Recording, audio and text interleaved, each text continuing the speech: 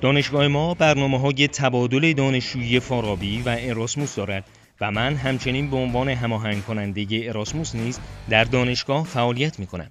بعضی کشورها که دانشگاه ما با آنها توافق دارد عبارتند از اسپانیا، آلمان، لهستان، چک، یونان و کوزوو. در محدوده توافقاتی که با این کشورها داریم، دانشجویان می توانند برای رفتن به آنجا اقدام کنند. در رابطه با سمپوزیوم ها، اخیرا رویدادهایی را ترتیب ندادیم، اما قصد داریم به زودی این کار را انجام دهیم. همچنین برخی از برنامه ها به صورت ملی در این دانشگاه برگزار می شوند و جوایزی هم اهدا می شوند. ما ورزشکاران و مربیان را به دانشگاه دعوت می کنیم و دانشجویان را با چنین افراد موفق در زمینه ورزشی گرد هم آورده و به این ترتیب فرصتهایی برای ملاقات با آنها و کسب اطلاعات بیشتر برای دانشجویان ایجاد می کنیم. دانشجویان با توجه به اینکه در گروه آموزش مربیگری تحصیل می کنند در محله اول این فرصت را دارند که در زمینه مورد تخصص خود به یک مربی تبدیل شوند جدا از آن دانشگاه ما یکی از معدود دانشگاههایی است که علاوه بر دروس مربیگری فوتبال شنا و بسکتبال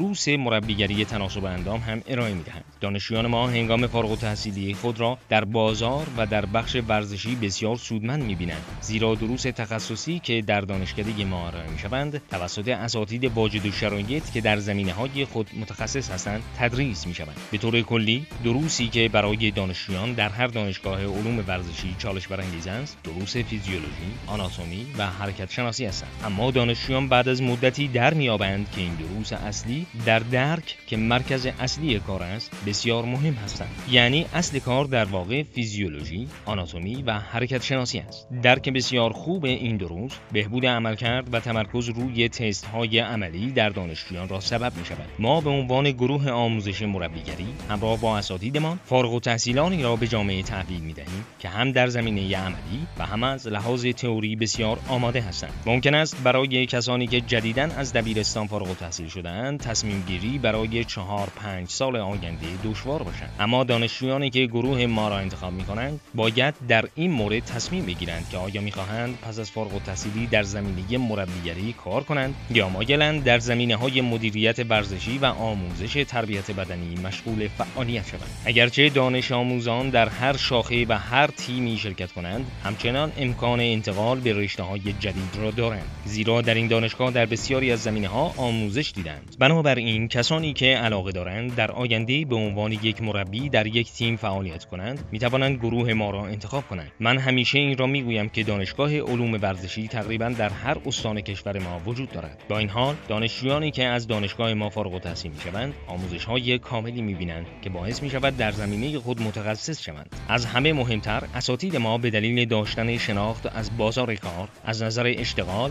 می توانند کمک بزرگی به دانشجویان بکنند. من فکر می کنم این یک مزیت بسیار مهم ایجاد می کند برای دانشجویانی که به دانشگاه دانشکده و گروه ما می آیند آرزوی موفقیت دارم